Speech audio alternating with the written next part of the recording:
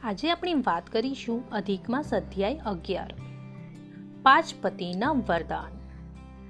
શ્રી નારાયણ નારદને કહેવા લાગ્યા, હે નારદ, મેઘાવતીએ અબળા હોવા છતાં દ્રઢ અંતકરણની નીડરપણે આશ્રમમાં એકલી રહીને એકાગ્ર ચિત્તે પોતાનું દુઃખનું નિવારણ કરવા પુરુષની હિંમત ન ચાલે એવું પંચમુખી મહાદેવને પ્રસન્ન કરનારું તપ આરંભી દીધું.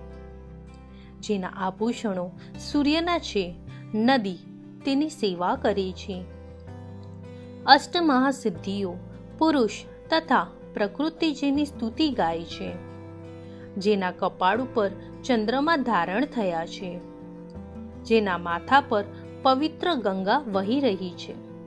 એવા દેવાધિદેવ મહાદેવનું કઠણ તપ કરતી ઋષિ કન્યા ઉનાળાના તીખતા તાપમાં સૂર્ય ભગવાનની સામે મીટ માંડી, પંચાંગની દુખી ધખાવી, શંકર ભગવાનની આરાધના કરવા લાગી.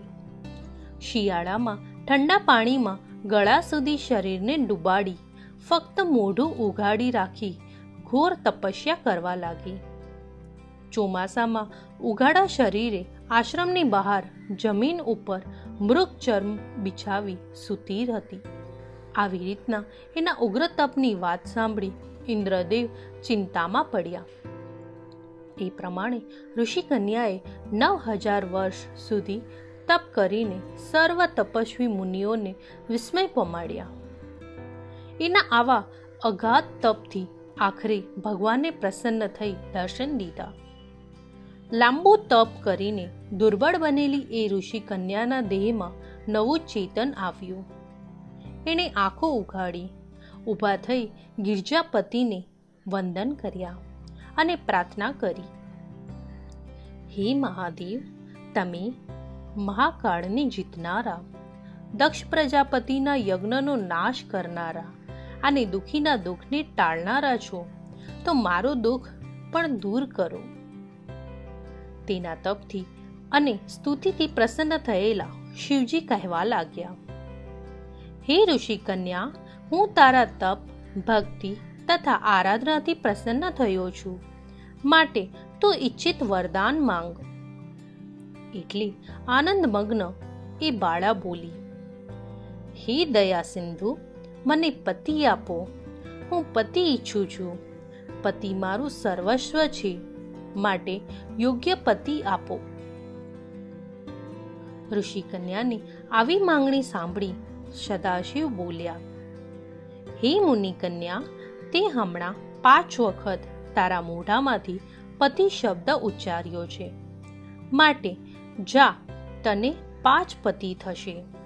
પરંતુ તે શૂરવીર, યજ્ઞ કરનારા ધર્મિષ્ઠ, સદગુણી, જીતેન્દ્રિય અને કીર્તિ વધારનારા હશે.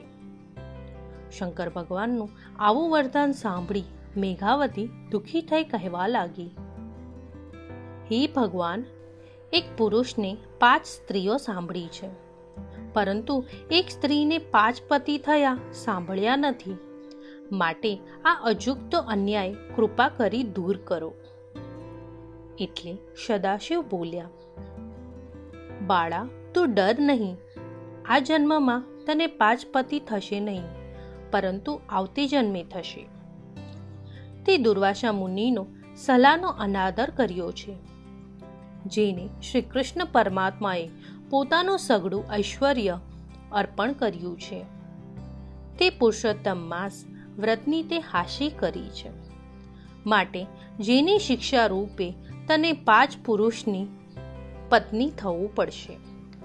માટે હવેથી એની નિંદા કરીશ નહીં, કારણ કે અમે પણ એ માસની સેવા કરીએ છીએ.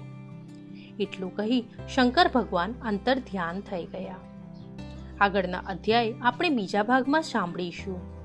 ખુશી ભાવસારના જય શ્રી કૃષ્ણ.